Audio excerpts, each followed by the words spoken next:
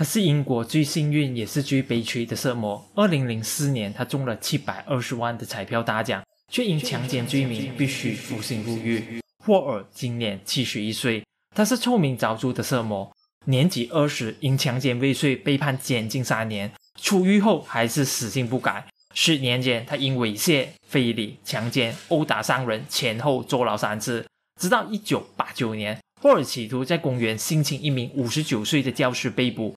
法官认为霍尔的行为太过恶劣，这一次一关就是十五年。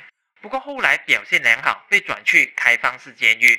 所谓的开放式。就是囚犯拥有更多的自主性和自由，可以种种花、养养猫，甚至外出购物。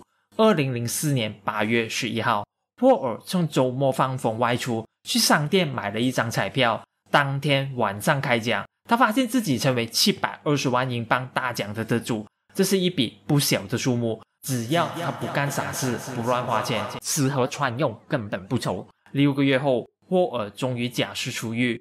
但有钱人的生活并没有如期而至，他每个月只能领取八千六百块的津贴，剩下的奖金交由委托人保管。想要用钱，就必须得到法院、律师、会计师等一致通过才能领钱。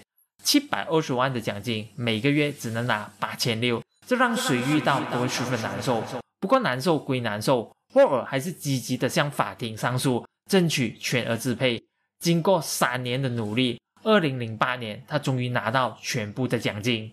原以为拿到钱后就能过上有钱人的生活，没想到现实跟想象差距甚远。霍尔每到一个地方，就会遭到当地居民的投诉和谩骂，各种骚扰电话、恶意恐吓、死亡威胁都轮番上演。